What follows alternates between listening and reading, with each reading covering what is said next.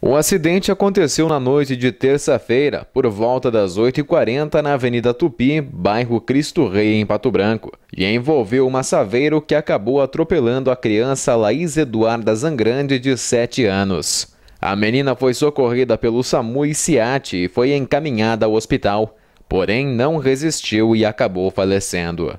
Segundo informações, o motorista estava em velocidade compatível e ainda tentou desviar da criança, porém acabou a atingindo na lateral do veículo.